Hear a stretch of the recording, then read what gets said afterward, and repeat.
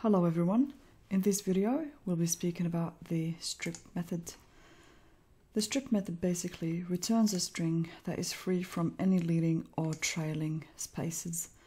So we're going to demonstrate what that means.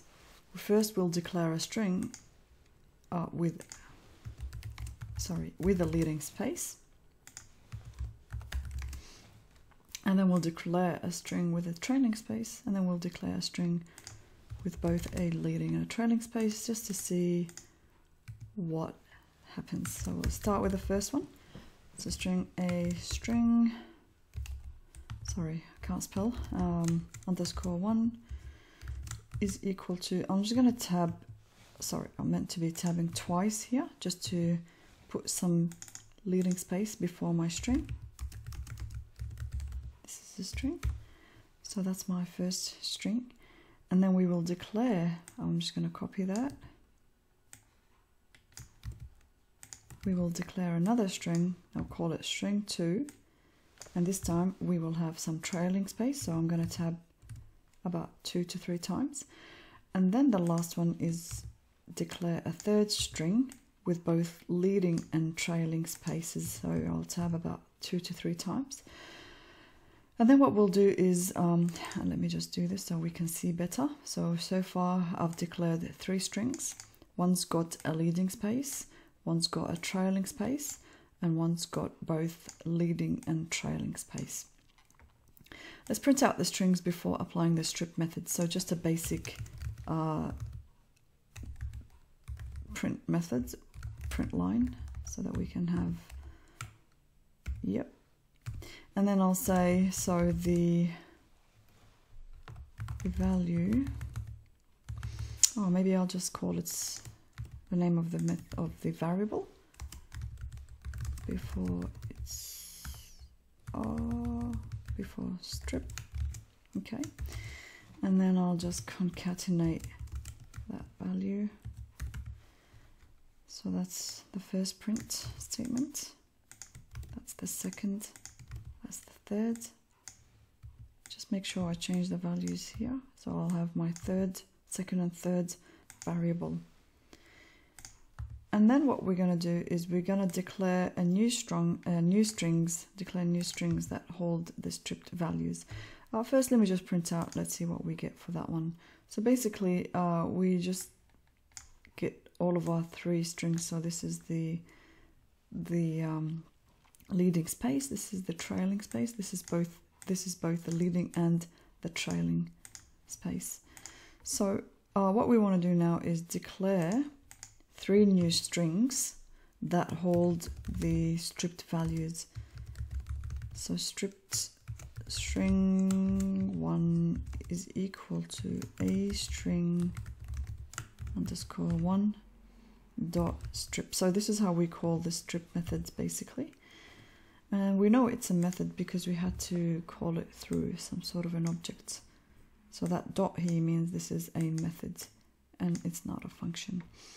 So anyway, we'll just keep on going. And then over here, I'm gonna call this string two and we'll apply the strip method on our third, second variable and now our third variable. So it, um, there's nothing, we've just declared three values that we want to now print out. So let's print out the stripped strings. So we would probably call it, oh, actually no, I'll keep that, but I'll say after, yep, after. And then I'll print out these values now. Okay, I think that's what we should be getting. And let's run the program. So the strip method gets got rid of the trailing space in our first variable, sorry, the leading space. And then the the second strip method gotten rid of our trailing space. So you can see that I can, so over here we can't really see the trailing space because it's just an empty space, but I can actually select it. Over here I can't, I can no longer select it. So that's how we know we got rid of the space. Now in the third one, we got rid of both of the leading and the trailing spaces. So um, by the way, this is the space that I've actually got in my in my program here, that space. So the, the spaces are actually gone. I can't select any further from this.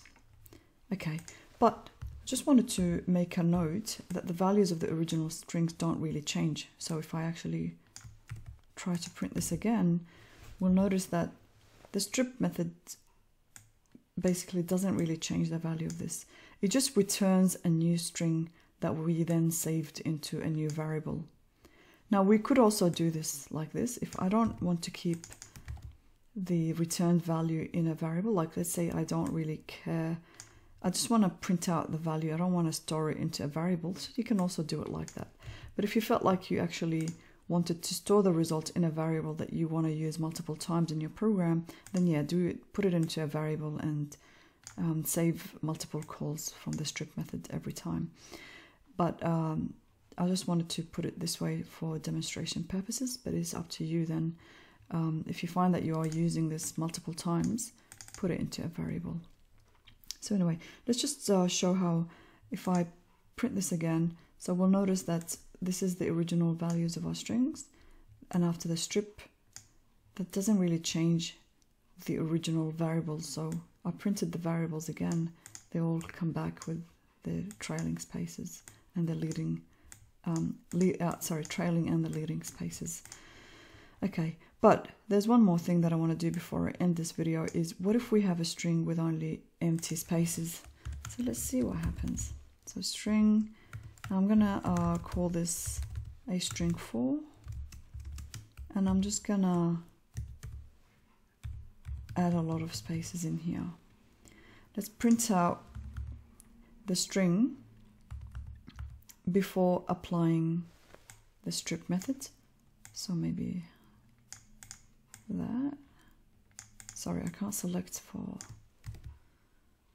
for some reason. And that's the fourth string and now I want to print out the string after applying the string method so this time what I'll do is um, I'll say after and this time I'll just do it this way um, just to show you how I don't need to put it into a variable if I'm only using it just once Okay, let's run it. So we are at this point, so I can actually select all of the space that came from this long string with of spaces. But after after the strip method, that, that space is basically this one over here. But I can't select any further because it strips out all the empty spaces. So basically just returns an empty string which pretty much looks like um, this Okay, so I hope this helps you. Stay tuned. In the next video, I'm going to talk about the is empty method. So I'll see you then.